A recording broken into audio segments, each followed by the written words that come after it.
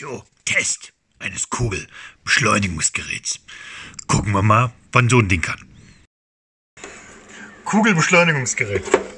Ich habe mir extra jemand einfliegen lassen, der das wahrscheinlich besser kann wie ich. Also auf jeden Fall trifft er sonst viel besser wie ich. So heißt das alt. Der muss jetzt erstmal gestärkt werden. Also machen wir Eis. Und dann gucken wir uns das, blenden wir die Bilder ein. Ähm, Kugelbeschleunigung, also praktisch mit dem Bogen Kugeln beschleunigen. Wie schnell können die und wie präzise sind die? Sind die Dinger wirklich so gut, wie man in den China-Videos oder so immer sieht, dass sie damit treffen?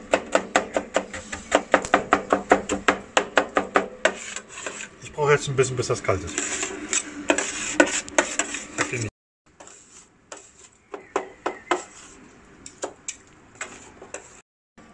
So, Eisstärke von unserem Profi-Heini ist da. Wenn ich jetzt richtig gut bin, dann kriege ich die Dinger auch noch gerollt. Ein bisschen enger. Das auch noch.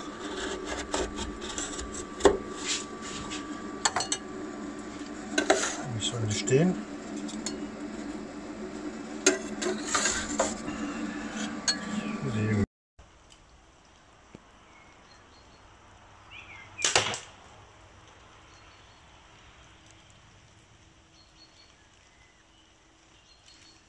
So, warte, hier, Stopp, Stärkung. Müssen wir da mal uns über den Bogen und so unterhalten. Ja, besten Dank erstmal. Ich Hunger. Machen wir gleich ein Fazit. So, die ganze Sache haben wir natürlich nicht nur alleine gemacht. Es waren mehrere Leute, die damit geballert haben, die es probiert haben. Hier links seht ihr das Visier, also zwischen diesen beiden Bogenseen. Das ist normalerweise ein kleines Loch, konnte ich nicht aufnehmen. Konnte man nicht richtig zeigen. Ähm, ja, hier jetzt den Bogen, sieht man das mal so im Test. Eis zur Stärkung. Ähm, Frankie und da wollten wir mal den Bullen bei den Hörnern packen. Na, das ist eigentlich eine Kuh. Aber ihr wisst, was ich meine. So, Stärkung, Essen ist verdaut. Wir konnten ein paar Mal ballern. Ähm, allerdings regnet es momentan und es wird dunkel. Beleuchtung. Genau, darum haben wir das Ganze erstmal eingestellt, weil man muss ja tatsächlich richtig anvisieren, sein, sein Ziel sehen und äh, da ist das ein bisschen witzlos, wenn es dunkel ist. Und. Anvisieren ist halt so mit die Sache. Natürlich die große, große Anfängersache. Ich habe das jetzt, weil ich habe ja hier ein Visier. Ich habe hier ein dolles Release. Ich habe den mit Magneten oder sowas. Da ist sogar noch einer dran. Ähm, also muss man ja automatisch treffen. Was war mit Treffen? Also bei mir ging es. Ja, erst später. Release, Release. ja, also. Er hat äh, mein Release erst genommen. War nicht so. Er hat dann sein abgestimmtes genommen. Das war ja, besser. genau, das ist etwa- etwas anders als deins Ja. und das äh, funktioniert etwas besser. Aber äh, was wahrscheinlich auch an diesem ziemlich arg kurzen Achsabstand liegt, äh, das macht das ganze Ding sehr instabil und sehr, sehr giftig. Und äh, ja, wenn man nicht genau hundertprozentig weiß, was man tut und äh, wenn man halt das Compound-Schießen nicht gewohnt ist, dann äh, streut man halt wie ein betrunkener Doorgunner. Ne? Also das ist halt so. Er ist jetzt schon umgebaut. Er ist jetzt schon modifiziert. Das Ding, Stabi, Feder, ist normalerweise nicht dabei. Wenn er nicht drauf ist, man merkt richtig einen Schlag. Weil die Sehne haut er hier durch und haut hier auf dem Stopper drauf. Muss später mal eine Aufnahme machen. Ähm, Visier nicht dabei. Bogen kommt halt blank, muss man sich da aus, ausstatten, wie man möchte, mit den ganzen Sachen drin. Geschwindigkeit hatten wir. Ich bin mehr Zwillentyp. Ich sag 91 Meter die Sekunde. Er ist mehr momentan mit Bogentyp auch. Äh. Zwillen ist er. Ach, lass die.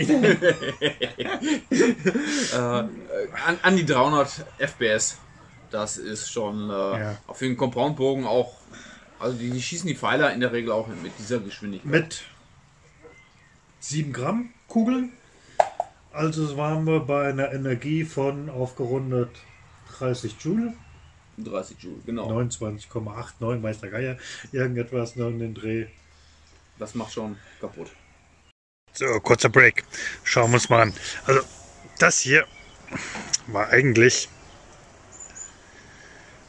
der Streukreis. Zum Teil ging er ein bisschen, bisschen weiter. Hier sieht man Einschläge da und Einschläge da. Zu Einschlägen kommen wir gleich nochmal. Nachher wurde er besser. Präzision, wie gesagt, also man ist halt nicht gleich automatisch. Aber wenn wir sagen, das Ding hat 30 Joule, was sind 30 Joule? Gehen wir mal rum um die Catchbox. Guckt euch die Dellen an. Das Ding ist jetzt klein pickeli Catchbox. Sowas hinterlässt 30 Joule. 7 Gramm Kugel, 12 Millimeter, gute 90 Meter die Sekunde. Von da hinten. Ja, Das ist schon man hat viel mehr, weil A, den zu spannen, das sind jetzt eigentlich die Vorteile mit von dem Bogen. Ich muss die Kugel mal hier rausmachen, ich finde die komisch. Ähm, für die, die sich jetzt nicht so aus, auskennen damit, der hat hier oben keine Rundung, sondern so Oval-Ei-Dinge. Wenn man den spannt, ist es am Anfang schwer und später, das letzte, hat er noch, ich muss nachgucken, ich glaube 50 Prozent oder sowas. Das, Der hat jetzt nicht die komplette volle Einstellung. Ich habe da mal vor Tagen ein Video gemacht. Ich blende das mal ein. Nur falls ich jetzt Quatsch erzähle. Ähm, ich meine 40 Kilo. Nee, 40 40, Pfund. Pfund. 40 Pfund, der hat keine 40 Pfund. Auszugsgewicht 20 Kilo, wären das circa. Ja, hat er nicht. Ja. Kann man, du, du musst die Ja, Schrauben ich habe ich hab mit, der Feder, ich hab mit der Federwaage da, da gemessen. Man kann den spannen bis angeblich laut, laut ähm, Verkäufer 65 Pfund. Ähm, das heißt also, ich Zwillentyp 20 Kilo. Hier spannen, aber nachher hier beim Halten, wop, hier geht es auf einmal ganz leicht. Der lädt auf. So. Bogenheini wieder, let off. lädt auf. Genau. Und das ist äh, immens einfach. Also man, man erschreckt sich richtig, wie das Ding hinten knock, auf einmal in den Anker reingeht und äh, man, man kann es ewig lange halten. Also das ist überhaupt nicht mit einem normalen Bogen überhaupt gar nicht vergleichbar, wo er, wenn der hinten schon knackig wird und man hier den, den maximalen äh, Zuggewicht hat, ist beim, beim, beim Compound-Bogen ist das wirklich Du sehr, machst sehr jetzt voll mein. Konzept kaputt. Das sind zwei Sachen. Dass ich jetzt Ich einfach jetzt, richtig ja, ja, ich wollte jetzt eigentlich erst zu dem anderen kommen. Ähm, mit Wenn du dem ein Konzept hast, was noch nie ein Konzept gab. doch Chaos. Okay. ähm, Spann halten. Hinten Da halten auch weniger. Das wird aber auch bedeuten beim Beschleunigen, er beschleunigt von langsamer auf mehr. Also nicht wie bei der Zwille oder sowas, ganz hinten beim Ausziehen ist die höchste Beschleunigung und je weiter die Kugel, je schneller die Kugel nach vorne kommt, umso weniger Energie ist eigentlich da, um sie zu beschleunigen. Das ist der Vorteil bei diesen Compound-Dingern, weil hinten hält man leichter und da merkt man, oh, hier ist natürlich die Beschleunigung dann auch geringer und dann auf einmal der Schlag, wo die Beschleunigung dann richtig einsetzt. Weiterer Vorteil, weil du gesagt hast, man kann den so schön lange halten. Andere, ich nicht. Der Bogen verliert keine Geschwindigkeit. Nee. Beim Latex haben wir es so, je länger wir es halten, umso kühler das wird. Ich nehme mal eine schöne Zwille. So, jetzt, ich spanne das und jetzt kühlt das Latex ab. Und umso länger ich das halte, es sei denn, wir haben draußen 50 Grad, ähm, umso langsamer wird die Kugel. Also das heißt, ich habe auch immer wieder eine andere Flugbahn von der Kugel. Halte ich einmal 1,7 Sekunden, halte ich dann 2,3 Sekunden, dann ist die Flugbahn schon wieder, ist der Einschlag weiter vorne bei mir. Mit großen Entfernung merkt man sicherlich. Hat man hier halt nicht. Hier ist es, bis auf die normale Streuung, immer gleich. Gut, das Ding passt jetzt nicht unbedingt in meine Hosentasche. Ja, mach ein bisschen Paracord dran, das ist also EDC-tauglich. Stimmt, Paracord-Filter, das muss. Paracord und Schrumpfschlauch, das muss. Dann ist ja EDC-tauglich. ja, also was macht man damit? Gute Frage jetzt. Ne? Also 12 mm Kugeln ist, glaube ich, das Mindestgewicht, was ich hier verschießen muss. Ich kann nur magnetische Munition damit schießen. Für, um Pfeile damit zu schießen, müsste ich den massiv umbauen. Ja, gut, hier die Pfeilauflage. Ich habe keine Pfeilauflage, die kommt noch nach. Ja, wo willst du denn unbedingt- den Fall? Ja, hier, da ist ein Gewinde, da kann man so eine Pfeilauflage machen. ist denn Und da ist ein, da ist ein, da ist ein, da oben ist ein Ah, ja, noch. tatsächlich ist da. Der ist schon dafür vorgesehen. Ah, Wahnsinn, hat man tatsächlich mitgedacht. Okay, ja, man könnte relativ schnell am Pfeil schießen, ja. Vorteil ist, bei dem er ist hier links und rechts abgespannt. Das heißt, es gibt keine Verdrehung beim, beim Spannen, was man sonst bei einfachen Compound-Teilen hat, zum Teil. So zumindest hatte ich das Gefühl. So von der Qualität sieht er eigentlich nicht schlecht aus. Ich rede vom Aussehen, nicht von der Funktion. Ja, also der Maschinenbau-Nerd in mir, der ist über so ein paar Gewinde gestolpert. ja, ja, ist schon okay. Also äh, da, da, gibt es Schlimmeres, ne? Und äh, dass die, die, die Wurfarme halt waagerecht stehen, damit der Stockwerk nach oben hinweg geht, das ist mittlerweile auch up to date. Also das äh, äh, ist, ist schon wohl äh, up to date. Das wusste ich noch Ding, ne? nicht. Was, wenn die sonst so mehr Ja, gestreckt dein- sind wie beim normalen Bogen, dann Da, geht dein. Compound-Punkt, dein Compound-Punkt, der bei mir im Keller hängt, äh, der hat die Wurfarme so schräg nach oben. Ja, ja, genau. äh, der schlägt dann, der hat dann Schusseffekt nach vorne. Also äh, die modernen haben die alle waagerecht. Ich habe mich schon gefragt. Ich habe gedacht, das wäre einfach, damit die kleiner gebaut sind. Nee, nee, nee. Aber die kleine Größe, also dieser schmale Achsabstand, äh, der kostet einiges an Präzision. Hm. Leider, leider. Ja. Äh, ist nichts anderes als ein Spielzeug, muss man vielleicht ehrlich sagen. Macht natürlich auch Laune. Gefährliches Spielzeug. Ja, gefährlich Spielzeug, na, also gefährlich im Sinne von, äh, ja, man verletzt sich selber nicht. Also äh, die Gefahr, dass ich jetzt hier irgendwie einen Rahmentreffer produziere oder ähnlich, solange ich hier mit einem, mit, mit einem Release löse, passiert das nicht.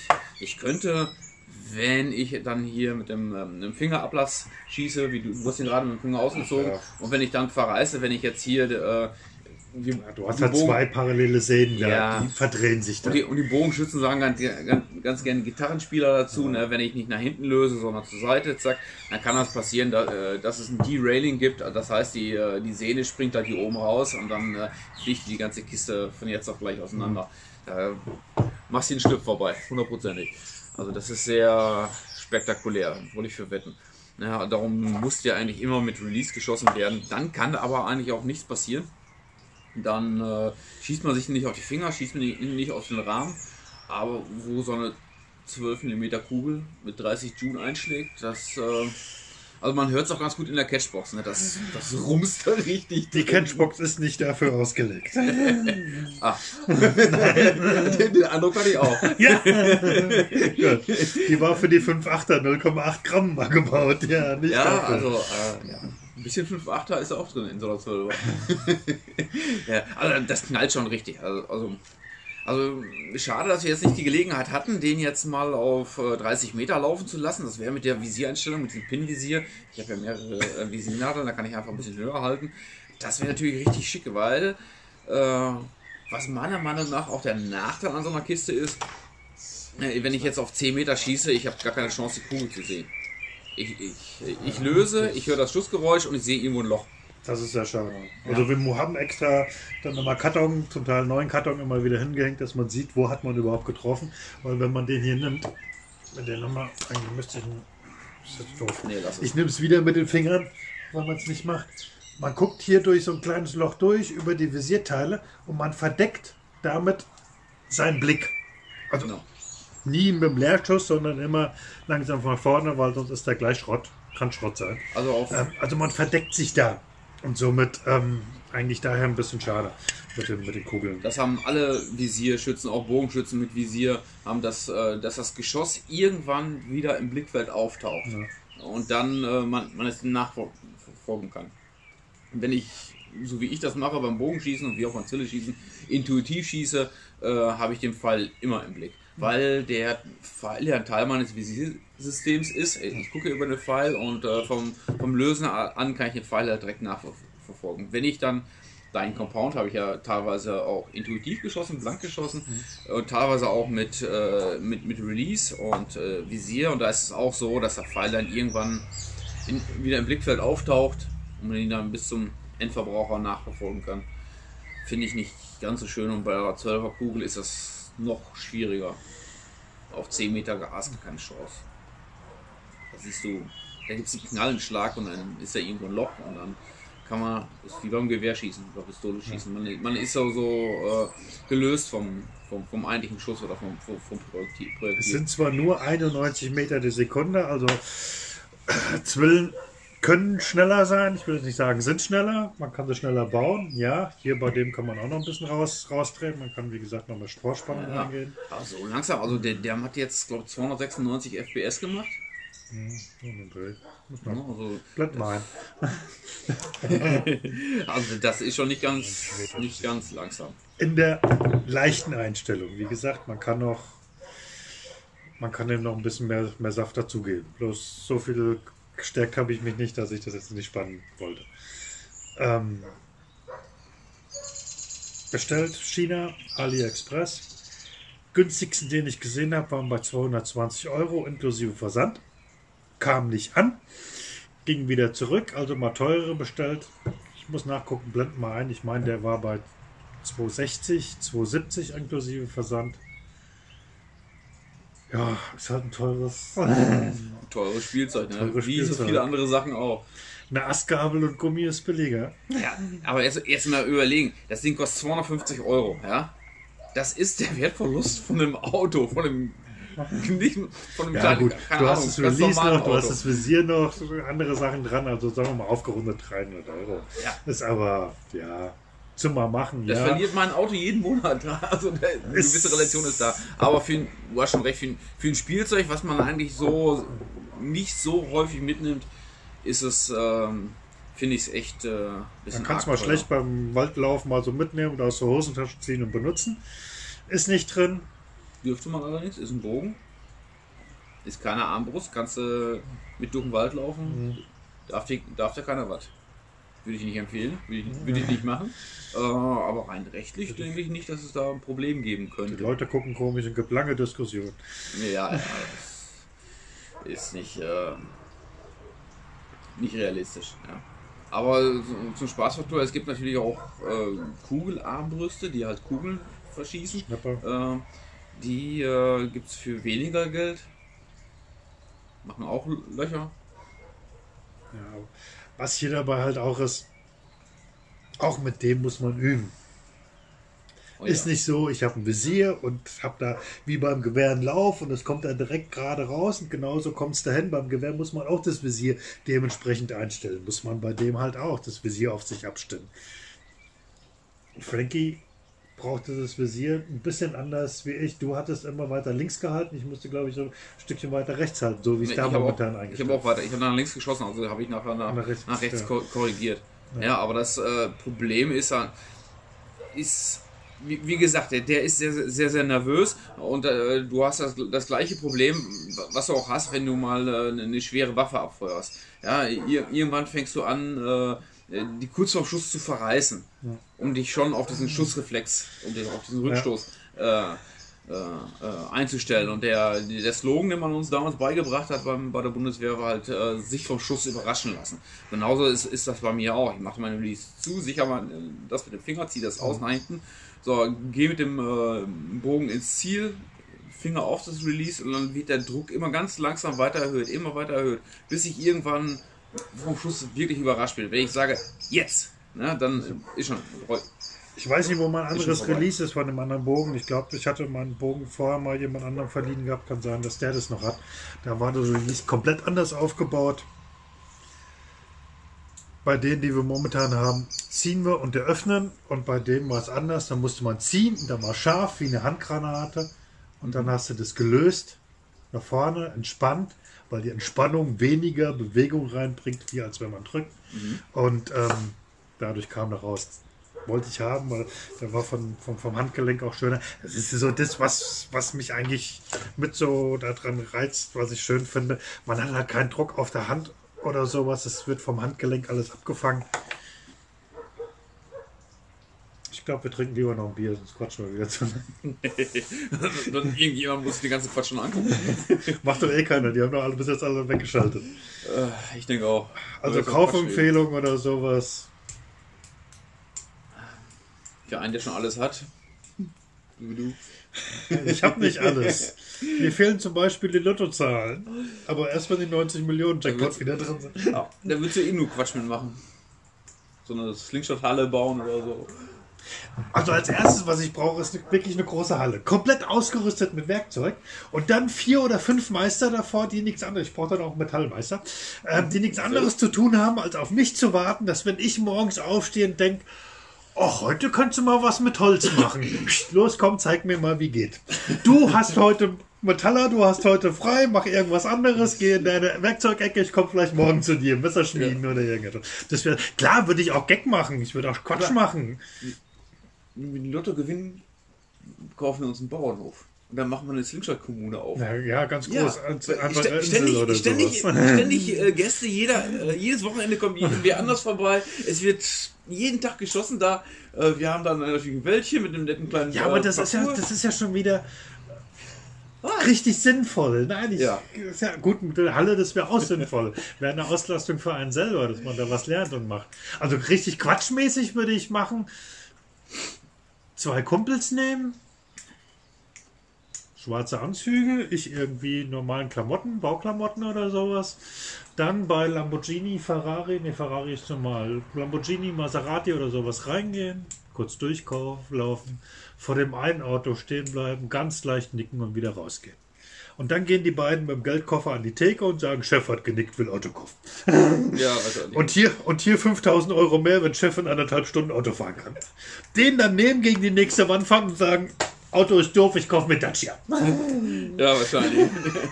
das wäre der Spaß wert. Das wäre dann so eine Spaßsache, so eine Gag-Sache, ja. Aber ich glaube, es wäre auch die einzigste.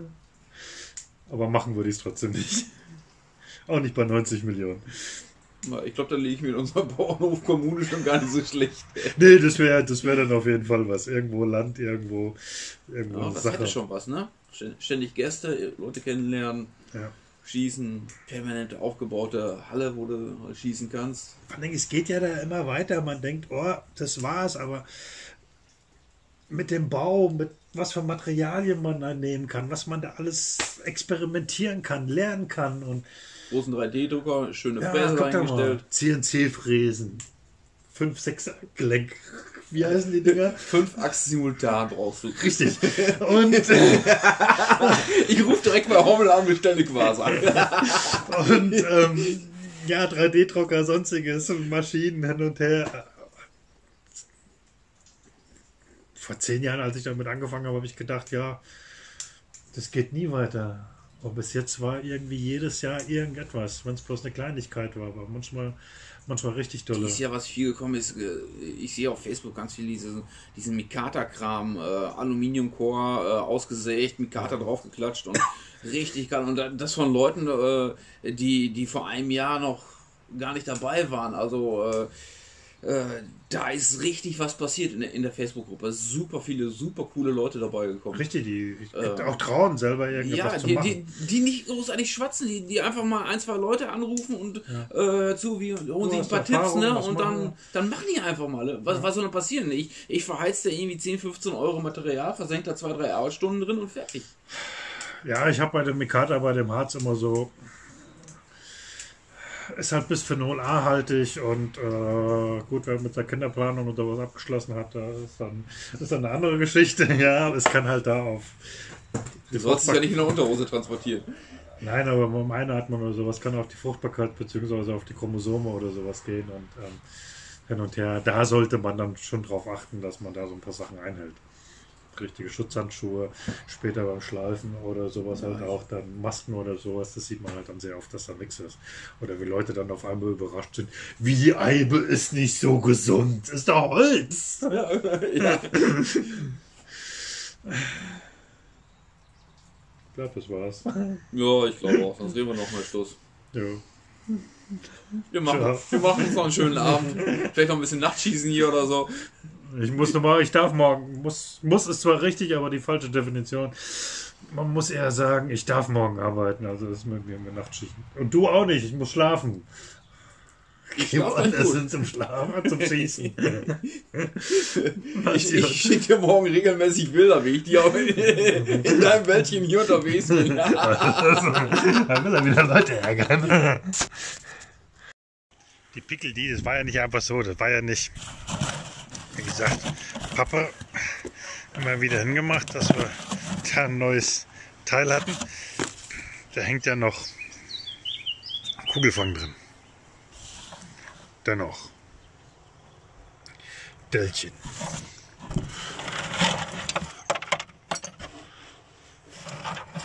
Da ist noch eine dicker. Komm raus. Die hat das verursacht. Normalerweise ist die Catchbox für die Kleine. Wie immer, dass ihr alles mögliche an Informationen kriegt. Hier nochmal Videos und Fotos. Ja, wir haben es über den Kroni drüber gehabt. Ich habe auch noch andere Sachen, wo ich es lange gehalten habe, zum kurz gehalten. Ähm, dauert jetzt hier zu lang. Beim Bogen verliert man keine Geschwindigkeit, egal ob man zwei Sekunden hält oder ob man zehn Sekunden hält. Grob gesagt, gegenüber der Schleuder, hatten wir erwähnt gehabt. Äh, ja, ballern hier so. Fotos, wo ich es eingekauft habe, kommen noch, bloß wird sich das mit den Steuern jetzt ändern. Ihr werdet die wahrscheinlich versteuern müssen, somit wird das Ding teurer. Da sieht man die Kugel jetzt kommen. Blapp. Ne, wo ist er? Da kommt sie. Und schlägt da links ein. Ähm, Visier war noch nicht absolut eingestellt, aber unsere Trefferquote wurde eindeutig besser. Hier hatte ich probiert gehabt, einen Slow-Mo-Aufnahmen zu machen, konnte ich meinen Bogen nicht. Der Schleuder hat man schön gesehen, wie die Bänder durchflappen oder nicht. Tja, das ist halt bei dieser HDPE Catchbox, sah das hinten nicht mehr so gut aus. Visierpins für verschiedene Entfernungen kann man nach links und rechts noch einstellen und sonstige Sachen. Das ist der Bogen mit diesen Anbauteilen. Pfeilauflage fehlt mir noch, habe ich nachbestellt. Kommt. Ja, so schönes Spielzeug. Klar, man kann auch viel leichter halten, insbesondere mit dem Release finde ich viel angenehmer wie mit der Zwille. Ähm, das hier ist einer, den hat Jörg Sprava mal vor Jahren, ich hatte ihn bei ihm in der Hand gehabt, ich konnte ihn nicht komplett spannen.